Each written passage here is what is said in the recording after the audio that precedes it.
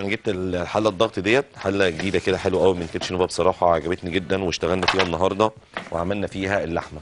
ولكن أنا سلقتها أنا سلقت فيها اللحمة قبل ما يطلع ال- الهواء آه، الموضوع بتاعها سهل جدا. يعني كده آه، كده بتفتح تمام؟ هي الموضوع في منتهى السهولة. هنا بتقفل مجرد بس ما تضغطي على الزرار ده. آه، صمام الأمان قدام حضرتك أهوت.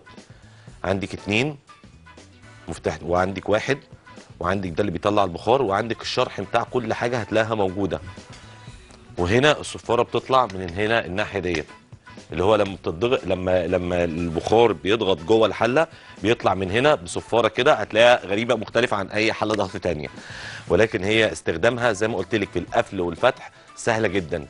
أهو الماتيريال البلاستيك بتاعها عالي جدا عالي الجودة. فاهمة إزاي؟ أهو. تفتحي.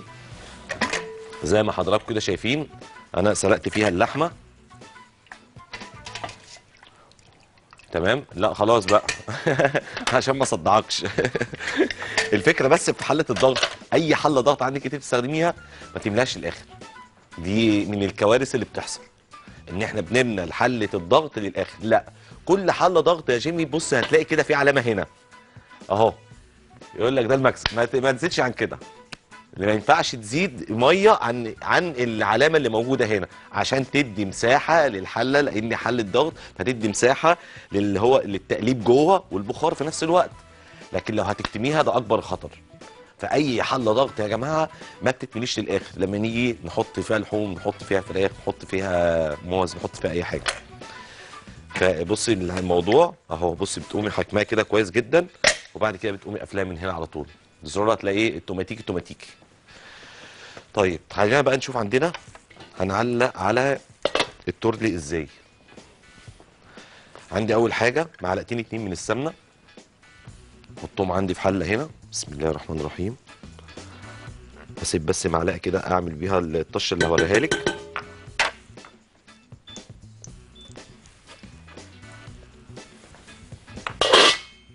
بجيب عندنا بصلاية أفرمها فرم ناعم.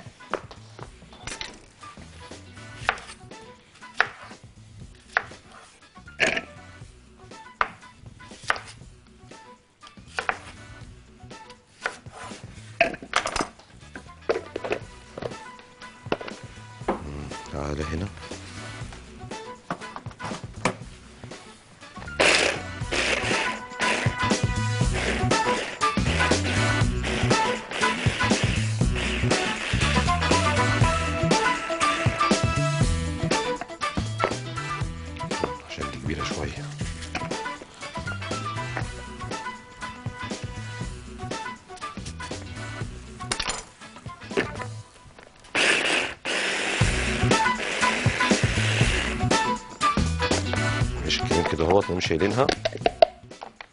أقوم واخد عندي البصل اللي أنا فرمته ناعم دهوت واقوم حاطينه هنا على معلقتين السمنتين السمنة البلدي اللي عندنا أهوت تمام؟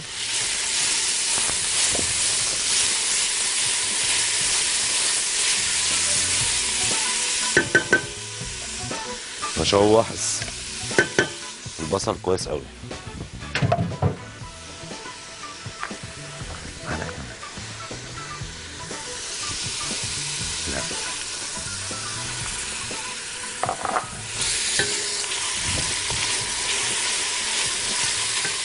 لا سمنه كبير. طيب بص بقى هنا.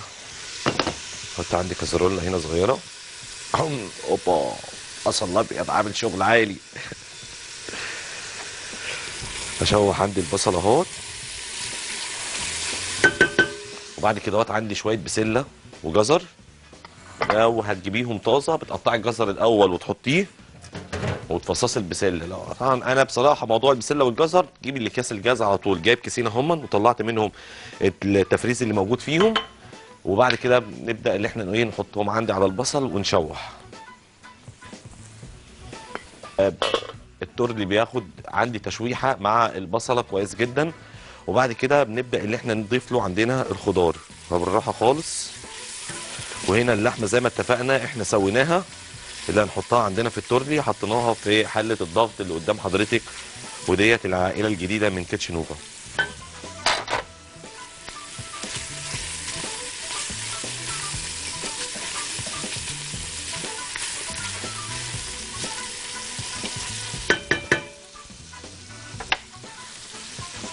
لحمة الموزه اهيت بعد إيه؟ ما اتسرقت هي طبعا إيه هي مش مستاهلة حالة ضغط. هي بص عاملة إزاي؟ هي ده آه هي زبده لوحدها أهي. خلي بالك. تعالوا بقى ناخد عندنا الايه البصل. بعد ما تشوحناه كويس جدا اهو منزل عندي بالبسلة والجزر.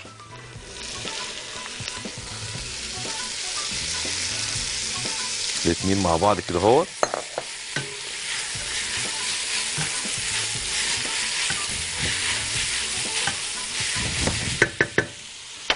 واخليه واخليهم طبعا إيه يتشوحوا التشويحة. التمام جدا. يا جيمي ده الغطا بتاع الحله أهو بتاع الضغط.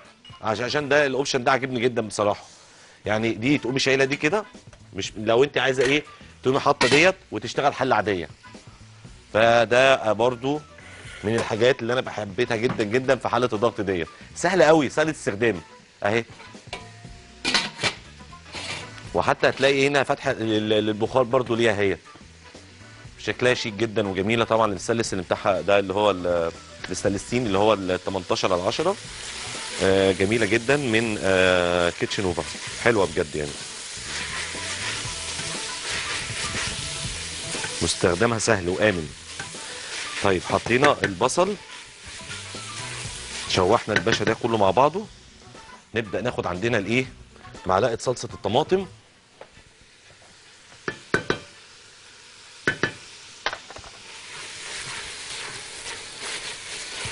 ونشوحها مع البصل والبسلة والجزر.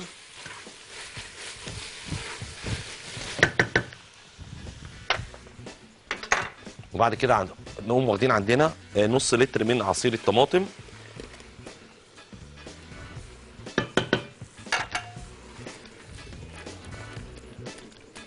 ومقلبين كل ده مع بعضه. وطبعا قبل ما اطجنها بقوم سايبها عندي تاخد إيه غلوه عندي على النار. ولكن مش هنسيبها كده. اهوت لا نقوم إيه جايبين عندنا آه ممكن نجيب ديت. أيوه. وناخد عندنا شوية شوربة. كده كده أصلا البهاريس كلها تحت. هناخد إيه؟ شوربة اللحمة ديت.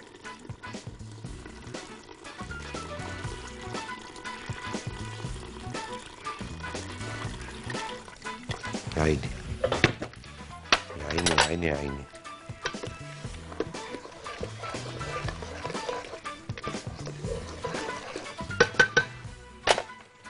ونديها الايه التقليبه المظبوطه واسيبها عندي على النار. تبدأ تغلي معايا.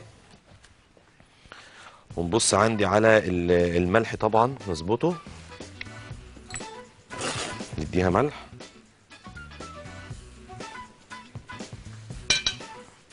وبعد كده أديها شوية فلفل. وبعد كده أقوم مديها شوية شطة كده إيه يظبطوا لي الأداء.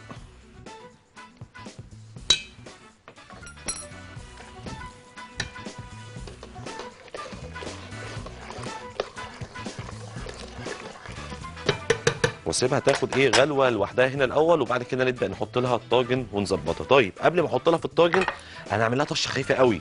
تومة هو التوم بيتحط مع التورلي المفروض مع البصل صح؟ نعمل لها طشة كده بسيطة جدا ونحطها على الخضار دلوقتي قبل ما أبدأ اللي أنا أحط الطاجن. ثلاث فصوص توم بس عشان ما تبقاش تقيلة. ثلاث فصوص توم اهم أحط عندي عليهم شوية ملح.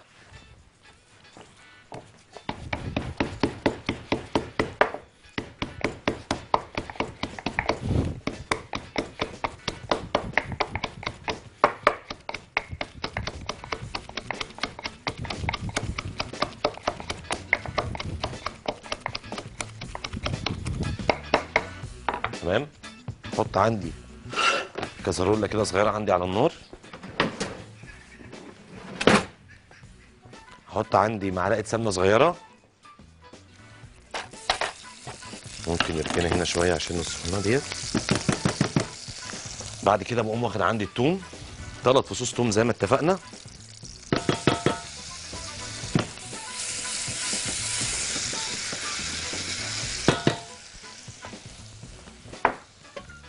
كده.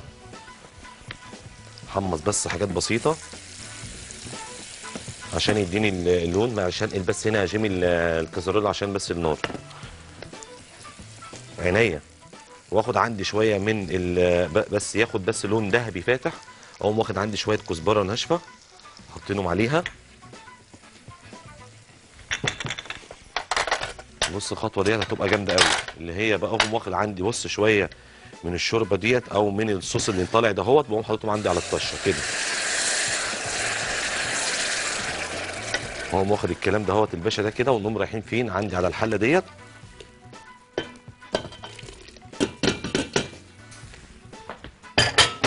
واديها التقليبة تمام؟ واسيبها عندي تغلي غلوة وبعد كده نبدأ ان إحنا إيه؟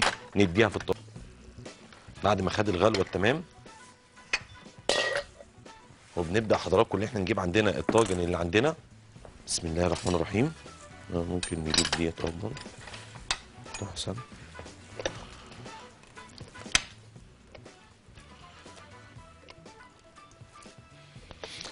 طشه يا جماعة عاملة فيها مخليها طعمها سكر.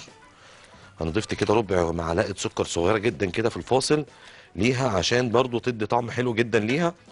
ضفت ربع آه بس معلقة سكر عشان الحموضة بس بتاعت اللي إيه؟ آه صلصه الطماطم. تمام؟ أهي.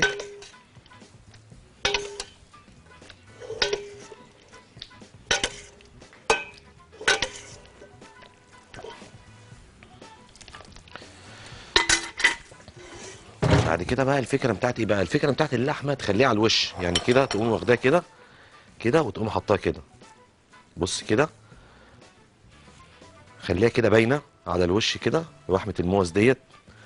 بس إيه تقلبيها على الجنبين الأول. ليه؟ عشان لما تخش الفرن تاخد كده وش كده حرواقه كده من فوق فهتدي طعم خيالي. اهو.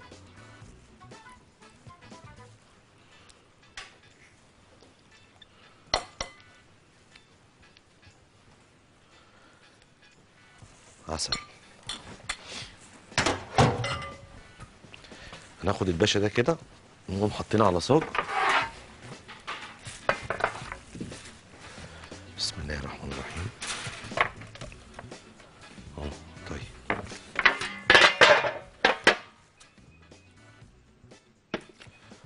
وأفتح الفرن. ناخد الباشا ده كده ونروح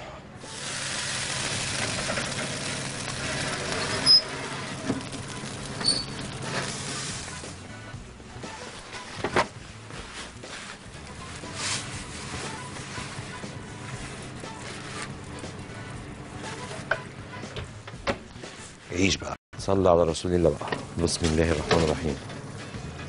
هو هو هو هو. شغل فاخر من السلام واللحمة بتبقى محروقة كده من فوق. موضوع هنا بقى أقول لك القرمشة بتاعت اللحمة ديت. أهو مع شوية التورلي كده حاجة محترمة جدا. ألف هنا.